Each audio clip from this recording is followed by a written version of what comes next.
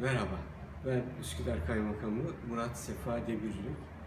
İHH Üsküdar Gönüllülerinin başlatmış olduğu kitap kermesine eee, hepinizi davet ediyorum. Ben de eee memnuniyetle bu organizasyona katılacağım.